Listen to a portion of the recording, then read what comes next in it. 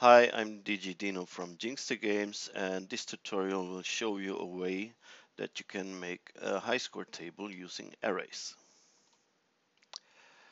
Um, first I will show you what it does. So let's play this.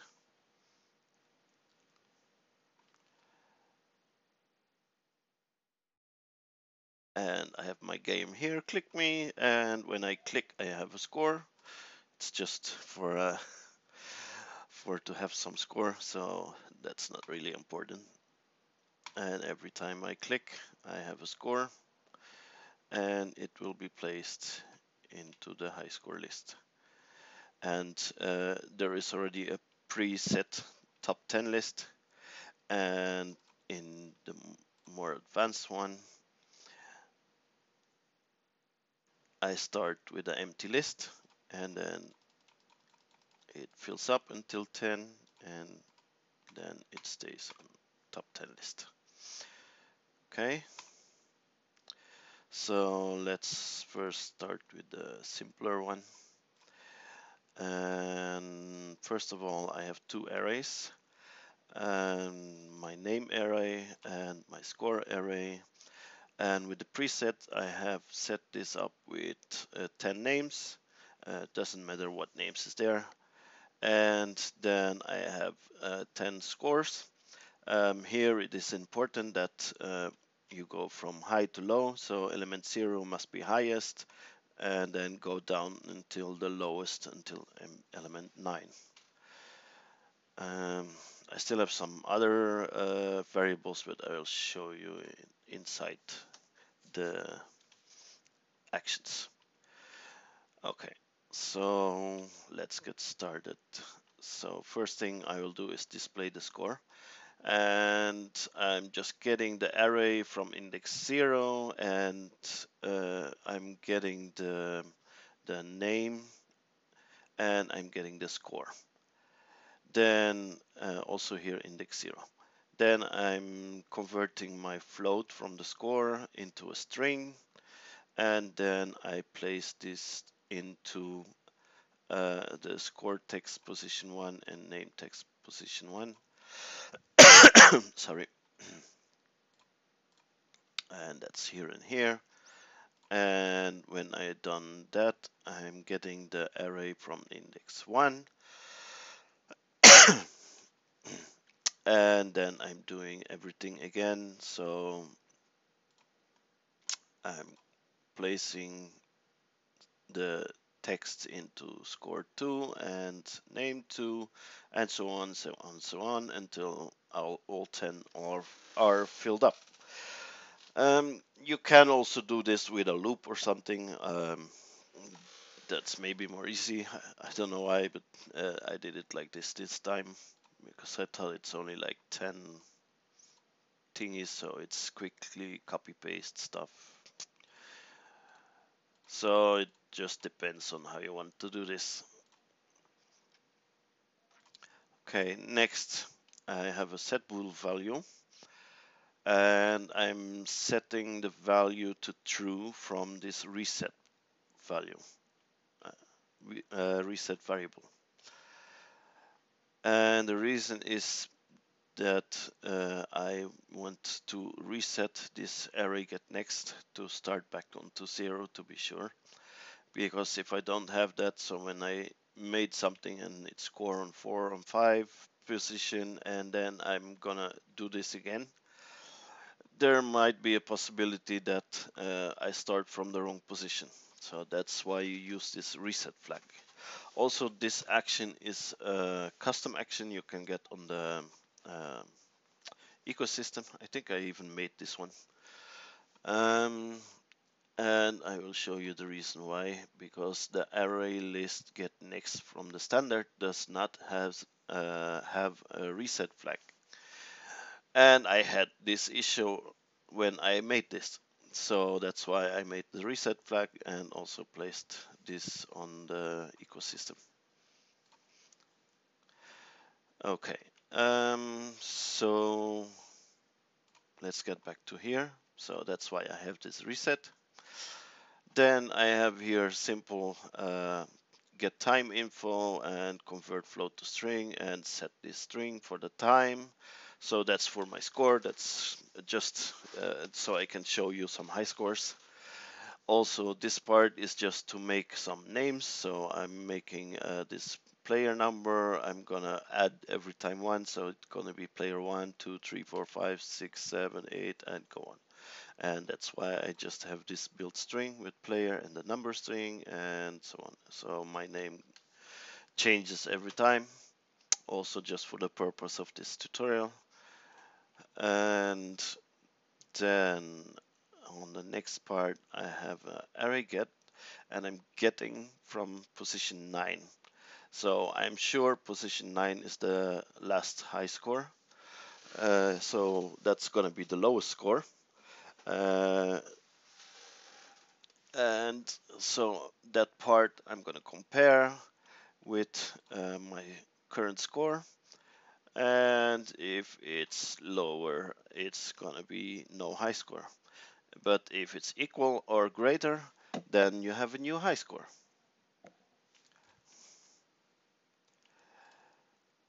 then when I have uh, when I don't have a new high score, I just go back here to my timer for a new score.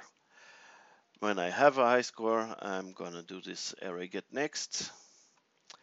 And so I start from zero. So the first thing I'm gonna get is five and then four and a half, four, three and a half and go down. So after I got this um, array, I'm gonna do this float compare. So I'm gonna check this score. I saved um, the result in the score HS. So I'm checking my current score with my score from the high score. And if it's uh, less than uh, that that score, so if it uh, if I would have like three, so the first one is going to be 5 so then it's gonna go check next. And then it goes to four and a half and four three and a half and my score is like 3.2 or something. So on element, 4 he's gonna say oh it's now it's uh, higher so uh, or equal. So and then I can set this position for my new high score then I need to do this uh, uh, int add to the current index. So actually here I have my uh, index. I'm always getting this. So when I'm looping back, I'm on to, let's say, what was it? Element 4. So I am on index 4. And I need to uh, place uh, on index 5 for the iterate. And that's why I'm adding this and later I'm gonna deduct this to get the right position.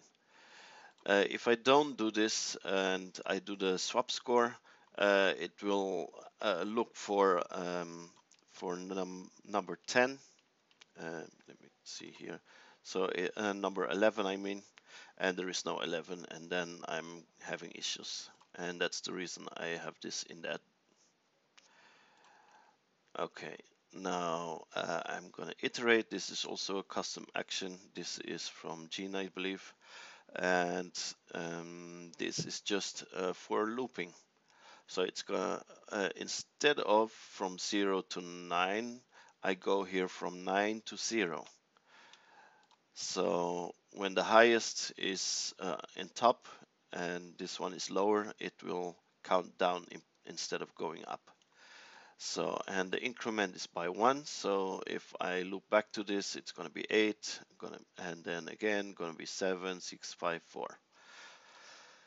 Okay, so, and once I reach uh, the end index, so that's going to be that current index plus one. That's uh, uh, on number five, I believe, uh, from the sample that I used and um, then it's done. And uh, before that, it's gonna always run to this. And what I'm doing is I'm swapping from um, first I'm swapping from uh, the index and uh, let me see uh, index to swap from a, I set a minus one. Ah wait uh, so I have first an int compare. Yeah. And it's going to compare if it's zero. If it equals uh, to zero or less than zero then it's also finished. So it's turn it sends back. Uh, that's also a failsafe um, so if it run to zero and somehow the iterate didn't count it or whatever, it's gonna go back. And then I have my int operator here. And what I'm doing is so the index to swap from, so that is my current index here. Um, let me see, index to swap from, and I'm going to do a minus one to that and actually you can also instead of that you can just do subtract subtract by one. That will work also. I'm just used as uh, int add minus one but uh, both works fine. And uh, the result is going to be index to swap 2 and then I have this array swap uh, swap items and I think this is also a uh, let me see array swap items yeah that's also a custom action so you can also get this from the uh, ecosystem and um, what I'm doing is so I have my score array and then I'm have my index to swap from. So let's say that's five or nine, start with nine. And then I'm in, um, swapping this to index eight. And also uh, the name I'm gonna swap and then it turns back and then it's gonna do the 7 to 6, uh, 6 to 5, 5 to 4 until everything has swapped. Uh, swapped until that I reach that score, the high score position. And when that's done, I have my int add here and I'm uh, removing uh, one from that current index that I placed, I add on this side. And then I can set my new score. And so I have my score array here and current index and the value from the score and also my name. Also here in the name array, current index and my name. And that's it. Um, you can find the sample files uh, on my website for now. And um,